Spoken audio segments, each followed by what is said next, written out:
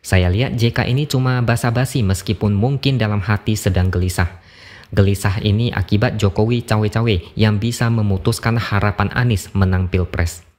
Padahal belum lama ini JK ingatkan Jokowi agar jangan terlalu ikut campur soal politik.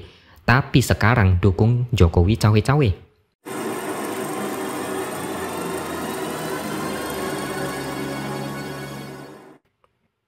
Halo, bertemu lagi dengan saya X Hardy di Opini Seaward. Manuver atau langkah catur Jokowi jelang Pilpres bikin banyak orang gerah atau kepanasan. Jokowi dituduh enggak netral dan ikut campur urusan politik. Bukannya kasih klarifikasi atau gimana, tapi Jokowi malah memberikan statement telak dan tegas yang membungkam banyak pihak, terutama oposisi yang menggoreng di luar batas. Seolah Jokowi ingin bilang, lu jual, gua beli.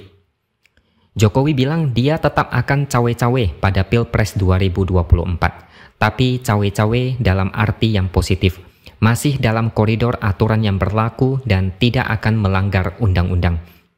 Menurut Jokowi ini demi kepentingan nasional dan memilih pemimpin yang tepat sangat krusial bagi negara. Pemilihan presiden dan wakil presiden 2024 sampai 2029 sangat krusial karena Indonesia membutuhkan pemimpin yang bisa menjadikan Indonesia sebagai negara maju pada 2030.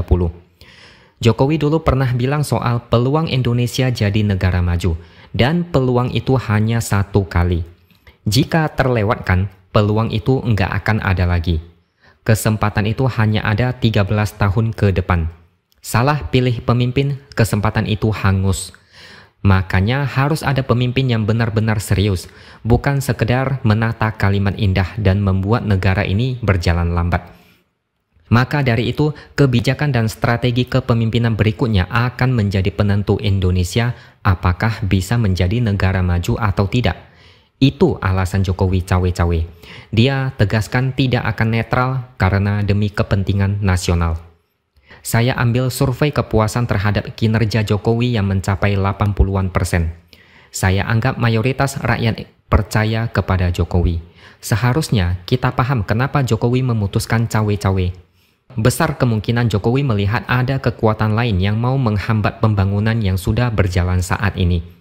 Jokowi khawatir jika pemimpinnya modelan sakit hati atau yang disetir kelompok haus kekuasaan, maka Indonesia kehilangan peluang emas dan calon pemimpin itu sedang diusung saat ini dengan gaya antitesis.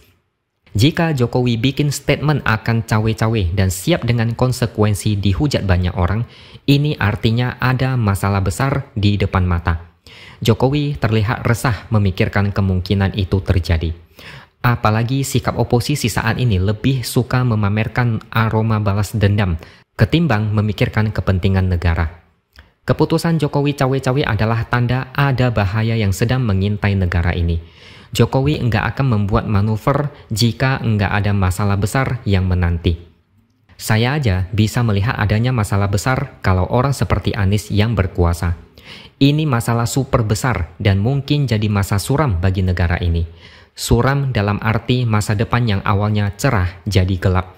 Karena kita semua udah tahulah Anies itu bisa kerja atau cuma ngomong doang. Takutnya banyak kebijakan yang akan direstorasi jadi titik nol lagi alias ulang dari awal. Tapi apa pun ceritanya, enggak ada aturan yang dilanggar Jokowi. Enggak ada peraturan yang melarang soal cawe-cawe, asalkan enggak melenceng dari aturan. Jokowi mulai terang-terangan ngomong seperti itu. Kelompok sebelah udah pasti makin kepanasan, ditambah lagi cuaca belakangan ini yang udah panas. Berbagai narasi bermunculan. Jokowi dibilang takut kalau presiden berikutnya akan membongkar kebobrokannya. Jokowi sedang menderita post-power syndrome. Berencana memperkuat politik dinasti atau bahkan rangkap jadi calo pilpres. Anies juga merespon soal Jokowi yang cawe-cawe demi kepentingan negara. Sebagai ahli menata kalimat, Anies bilang dia mendengar kekhawatiran soal isu penjagalan dan kriminalisasi imbas dari cawe-cawe penyelenggaraan pemilu mulai dari caleg hingga capres yang dapat perlakuan tidak fair dan kekhawatiran soal potensi kecurangan. Semua itu muncul akibat adanya pernyataan cawe-cawe. Anies sedang tanam ranjau. Dia bikin dulu narasi begini, supaya nanti kalau dia gagal nyapres, maka ada alasan pembenaran untuk mengarahkan biang keroknya ke presiden yang cawe-cawe. Dari semua capres yang sudah ada saat ini, hanya dari kubu Anies yang paling masuk angin. Dari kubu Prabowo sendiri, jubirnya bilang dia dukung penuh Jokowi sebagai tanda dia memikirkan Indonesia ke depan. Untuk Prabowo, saya rasa dia cukup pede akan melanjutkan warisan kepemimpinan Jokowi. Kalau Ganjar nggak usah dibilang lagi, cuma Anies yang jelas tampil beda. Sedangkan JK mendukung langkah Jokowi cawe-cawe supaya memastikan keberlanjutan program ekonomi pemerintah pada kepemimpinan presiden berikutnya. Demi memastikan pertumbuhan ekonomi nasional. Saya lihat JK ini cuma basa-basi meskipun mungkin dalam hati sedang gelisah. Gelisah ini akibat Jokowi cawe-cawe yang bisa memutuskan harapan Anies menang Pilpres.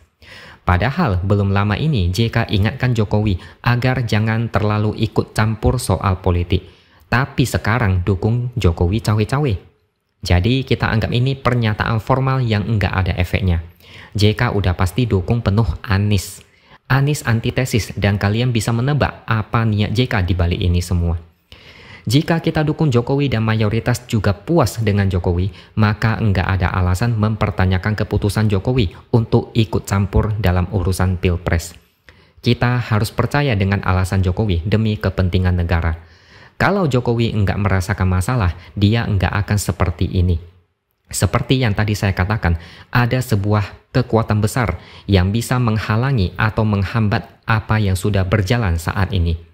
Jokowi bisa aja cuek dan memilih santai jelang lengser. Dia bisa aja diam dan main aman.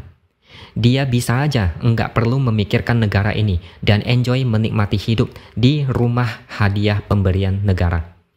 Dia bisa aja bersikap bodoh amat dengan nasib negara ini ke depan. Tapi Jokowi enggak seperti itu. Jokowi peduli dengan masa depan negara ini. Jika mayoritas percaya dengan Jokowi, harusnya mereka dukung penuh. Yang enggak dukung itu kebanyakan dari kubu sebelah yang takut tetap enggak bisa berkuasa saat Jokowi lengser. Saya rasa penegasan Jokowi ini adalah bentuk perlawanan terhadap kekuatan besar yang mau menghambat kemajuan Indonesia.